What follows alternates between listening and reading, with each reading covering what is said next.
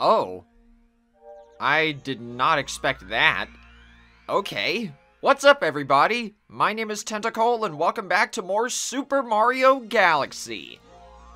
In the last episode, we completed the Toy Time Galaxy Purple Comet, and it was nowhere near as hard as I thought. And this time, we're starting with the Deep Dark Galaxy Purple Comet. When I loaded up the game just now and saw there was a Purple Comet in the garden, I thought it was going to be the Dreadnought Galaxy. But I'll take this.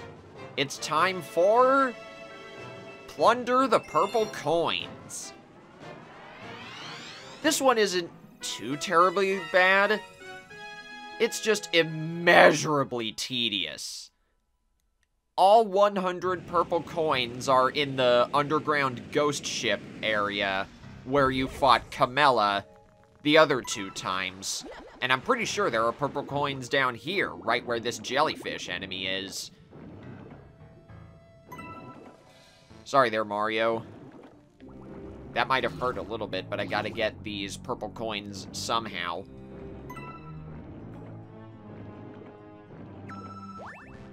I figured I could uh, start this video off easily before we eventually get a purple comet that's immeasurably difficult.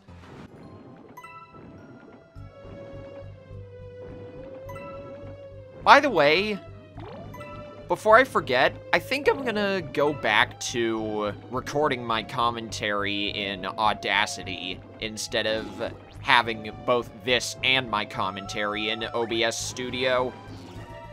I tried that for, I believe, that was episode 38. If my math is correct, this should be episode 39. But yeah, I tried it back then and I did not like the volume balancing. It worked. It just felt off, you know? I much rather prefer being able to balance my gameplay volume and commentary volume separately whenever I make these Let's Play videos. Anyway, that should be all the coins that are down there. I remember that all too well from when I first played this version of Mario Galaxy. What do you have to say, Captain Toad? Wow, what's a ghost ship doing here? Scared? Don't worry, I'll protect you. If any ghosts come out, I'll send them running scared. Too bad I don't see any ghosts. Oh, who's protecting whom? There's a pickaxe toad up there. And I know there are some purple coins up here.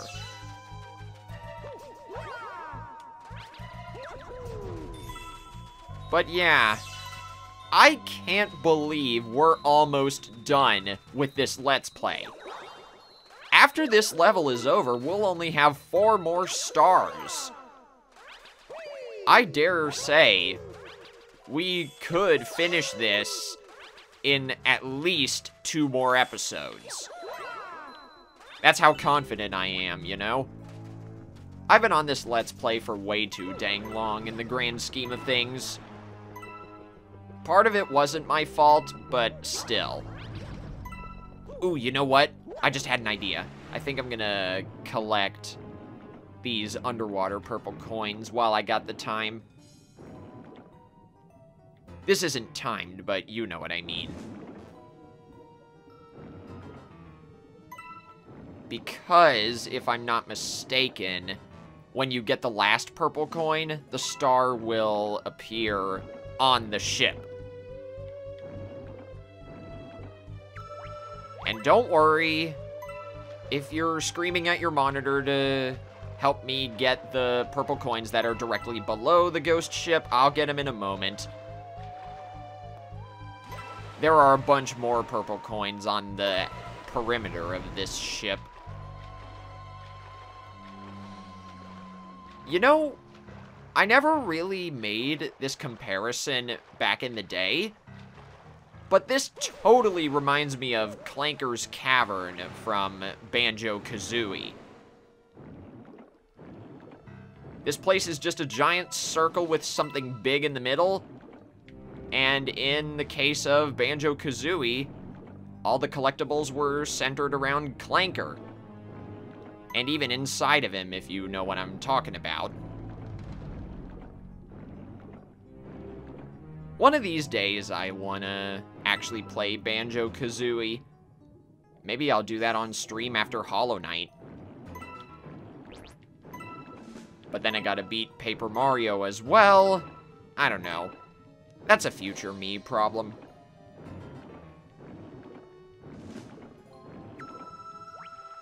But there we go, I got that line of coins. Now you guys can hopefully rest easy because I do believe the rest of these coins are gonna be way less hard to get.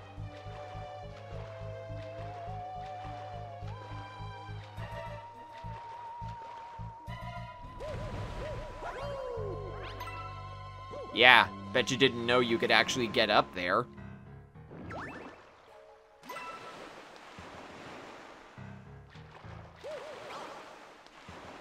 That's not the right button.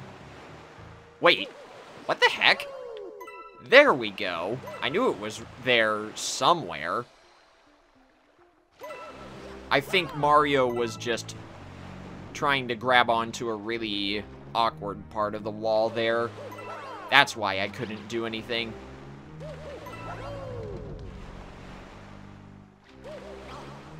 No. B first, then Y. There we go.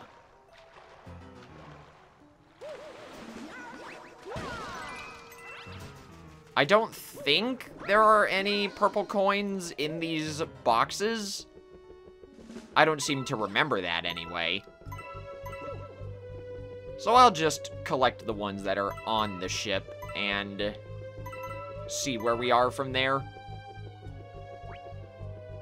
I know there's a bunch in the Crow's Nest where the final part of the Kamella boss fight was.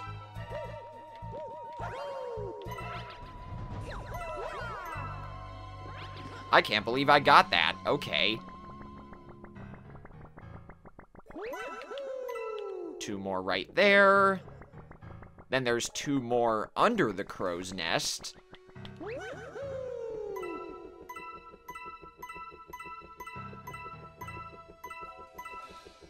Yeah, I do believe we found all the purple coins. Because the last one, technically, is right on top of that stalactite.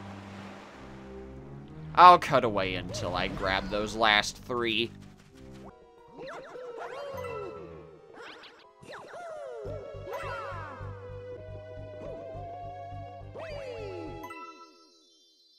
I knew the star would appear on the ship. And Mario just barely dodged that stalactite too. But okay. Glad that's over. Now I wonder what's next.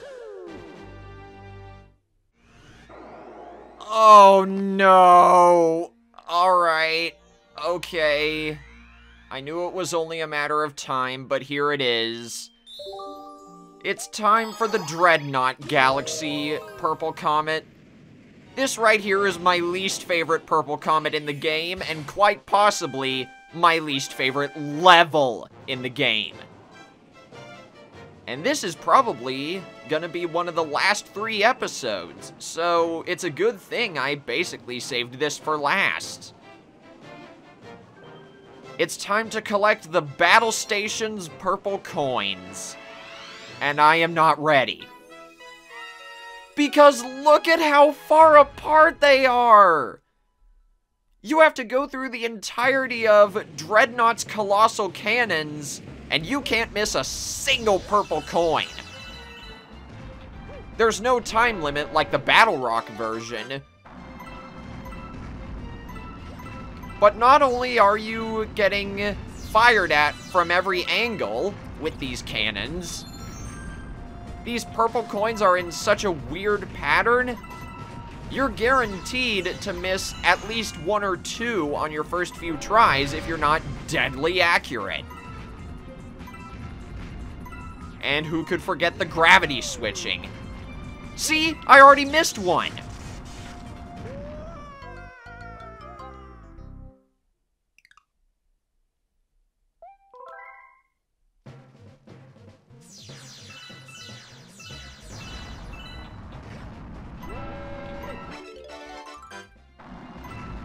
I don't think I was supposed to backflip there. But the point still stands. Now you see why this is my least favorite level in the game. Luigi's purple coins was pretty tough, but this is worse. I'm pretty sure I can just make this with a regular jump. Yeah, I can.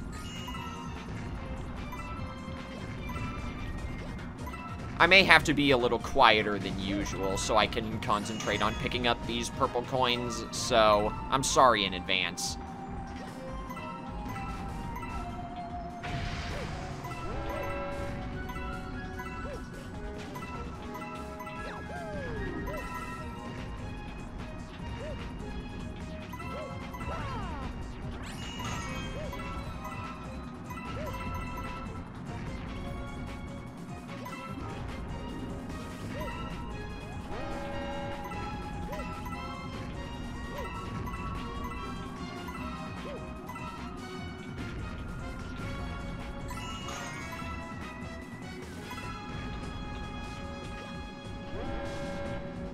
If you stay on those sideways platforms for too long, they will eventually fall.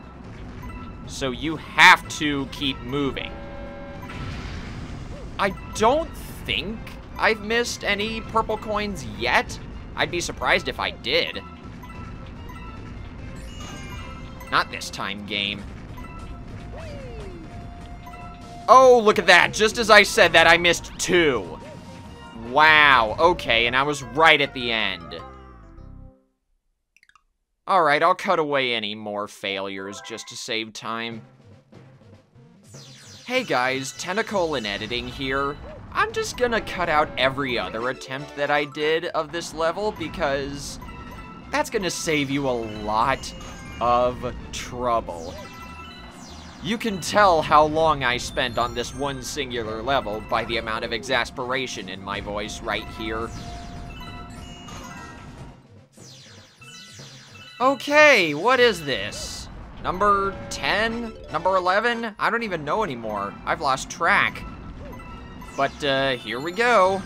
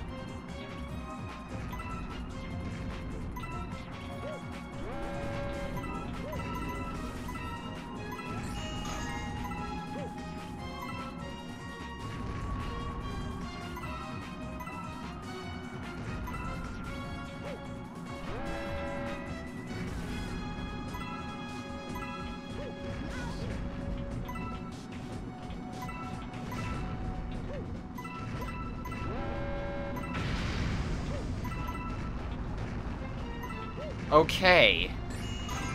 I do believe we're on the right track.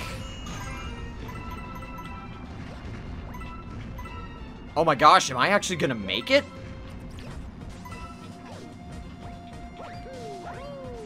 Please tell me these are the last five?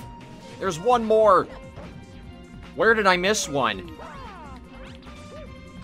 Is it at this thing? Oh, it's right there!